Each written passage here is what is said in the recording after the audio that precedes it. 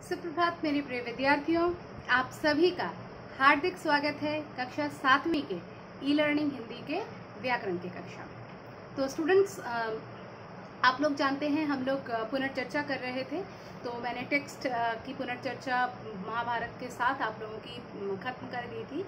तो व्याकरण में हमने जो पढ़ा था, वो था संधि, शब्द विचार के अंदर अंडर जो है, पर्यायवाची शब्द।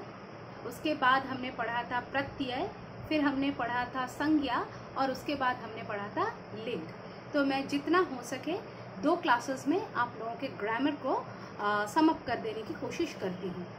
हम लोग पहले ही पढ़ चुके हैं तो नए सिरे से पढ़ने की कोई ज़रूरत नहीं है। जस्ट एक रिमाइंडर मैं आप लोगों को देना चाहती हूँ। ठीक है? तो ज़्यादा टेंशन लेने की ज़रूरत नहीं है। बहुत आसान है। आप लोग आराम से कर लेंगे। बुक के एक्सरसाइजेस को अच्छी तरीके से आप लोग जांचिएगा, परखिएगा, करिएगा बुक के एक्सरसाइजेस को बिल्कुल भी हल्के में मत लीजिए। आप बुक के एक्सरसाइजेस को तभी कर पाएँगे जब आपके लिए चैप्टर क्लियर होगा।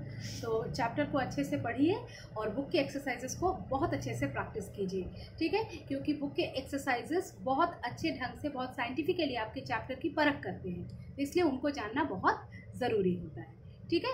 तो स्टूडेंट्स जैसे संधि चैप्टर हमने पढ़ा था, संधि क्या है? दो वर्णों के मेल से उनके मूल रूप में जो परिवर्तन या विकार आता है, उसको संधि कहते हैं। ठीक है? दो वर्णों के मेल से उसके मूल रूप में जो परिवर्तन या विकार आता है, उसको संधि कहते हैं। अब संधि विच्छेद क्या होता है? जब दो वर्णों के मेल से बने नए शब्द को वापस पहली अवस्था में ला देते हैं तो उसको संधि विच्छेद कहते हैं। ठीक है? अब संधि के भेद हैं, स्वर संधि व्यंजन संधि और विसर्ग संधि। तो स्वर संधि के जो भेद हैं, वो टोटल पाँच है। दीर्घ संधि, गुण संधि वृद्धि संधि, यण संधि और अयादि संधि। तो सबसे पहले दीर्घ संधि। दीर्घ संधि का एक उदाहरण, एक एक उदाहरण बता देती हूँ, क्योंकि आप लोग पढ़ चुके हैं, मुझे पता है, और हम लोग तो ये पुनर्चर्चा कर रहे हैं।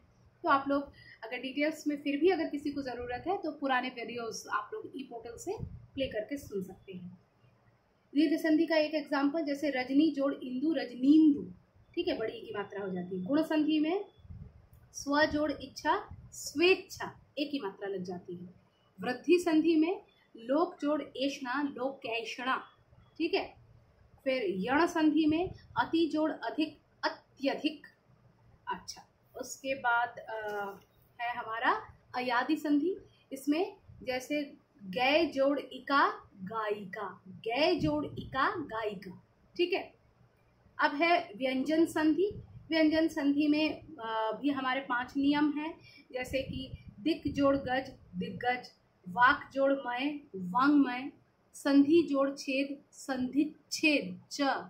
ठीक है? आधा च आ जाता है। संधि छेद। परि जोड़ नाम, परिणाम, अण। ठीक है? मूर्धन्य जो होता है, उसका उच्चारण आ जाता है।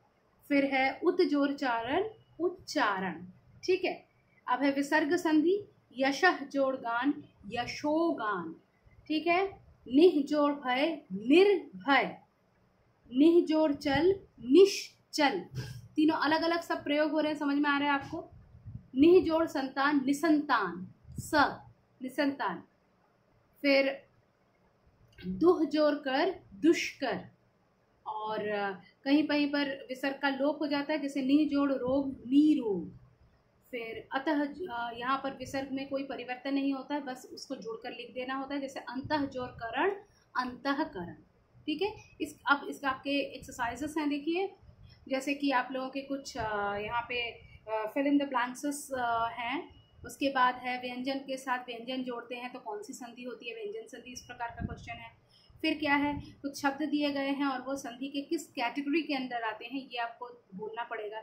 जैसे कि यहाँ पर एक शब्द है, वीरोचित। ये वीरोचित शब्द क्या है? ये गुण गुण संधि के अंडर आता है। फिर एक शब्द है महेश। ये महेश शब्द किसके अंडर आता है? महेश शब्द जो है हमारा गुण संधि के अंदर आता है। तो ये ऐसे एक्सरसाइजेस हैं और साथ में संधि विच्छेद हैं, फिर आपके बहुत सारे संधि विच्छेद एक्चुअली दिए गए हैं तो इनको आप लोगों को एक बार पुनर्चर्चा, जैसे अभी क्लास में हो रही है, वैसे आप लोगों को खुद भी अपने बुक को खोलकर और पुराने वीडियोस के ज़रिए पुनर्चर्चा कर लेंगे, ठीक है? इसमें कोई दिक्कत नहीं है, आप लोग आराम से कर लेंगे।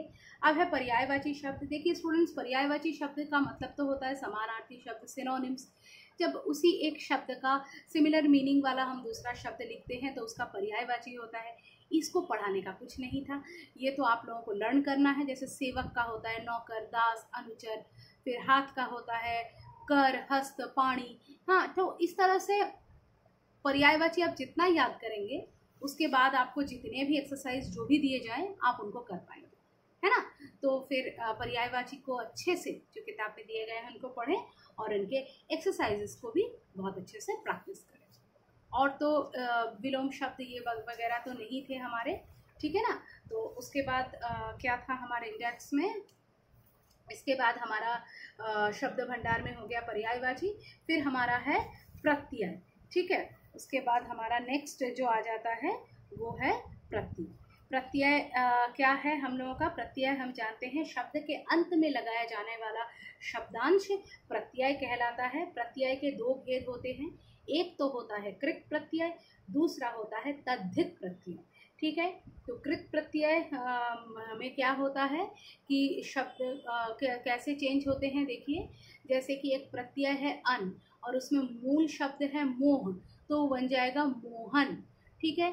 मतलब आ, क्या होता है कि इसमें आ, इनके योग से बने शब्दों को मतलब आ, कैसे होता है कि जो प्रत्यय धातुओं अथवा क्रियाओं के अंत में लगकर इन शब्दों का निर्माण करते हैं। धातु या क्रिया के अंत में लगते हैं।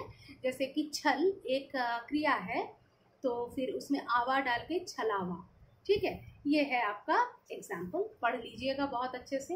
अब कृत प्रत्यय के भेद हैं।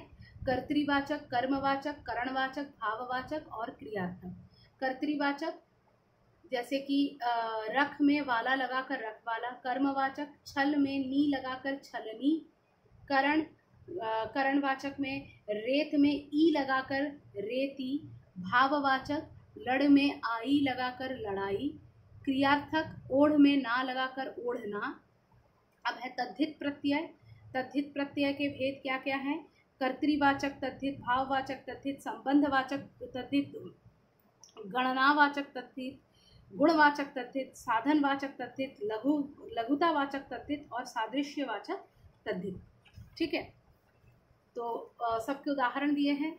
जैसे कि सोना में आर लगाकर सुनार, गरम में ई लगाकर गर्मी फिर नानी में हाल लगाकर ननिहाल, पहला में ला, पहला कैसे बना है? ला लगाकर पहला रा लगाकर दूसरा गुणवाचक तथित में क्या होता है? ठंड में आ लगाकर ठंडा फिर स्थानवाचक गुजरात में ई लगाकर गुजराती फिर लघुतावाचक रस्सा में ई लगाकर रस्सी ठीक है? उसके बाद आ, मतलब सादृश्यवाचक लाल में सा लगाकर लाल सा सादृश्य मतलब क्या? देखने का ठीक है?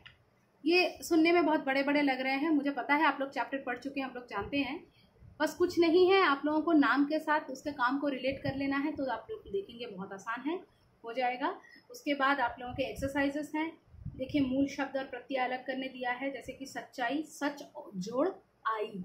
ठीक है? उसके बाद जैसे है सहायक, सहाय, जोड़ अक बनावट, बन, जोड़, आवट, इस तरह से। फिर है मूल शब्द और प्रत्यय को मिलाकर नए शब्द बनाइए। अड़, जोड़, इयल, अड़ियल। ठीक है? फिर है निम्नलिखित प्रत्ययों से दो दो शब्द बनाइए। इया से बढ़िया, घटिया। फिर उचित विकल्प पर टिक का निशान लगाइए। जैसे कि घबराहट। घबराहट में कौन सा प्रत्यय लगा है? कि इसमें आहट प्रत्यय लगा है। हाँ और उसके बाद है कि उचित प्रत्यय लगाकर नए शब्द बनाइए, वाक्य बनाइए, आप लोग कर लेंगे, मुझे पता है। तो अच्छे से पढ़िए। हम लोग एक और क्लास करेंगे और उसमें व्याकरण के बाकी जो हमारे चैप्टर्स रह गए हैं, पुनर्चर्चा के लिए, उनको समाप्त ठीक है? धन्यवाद।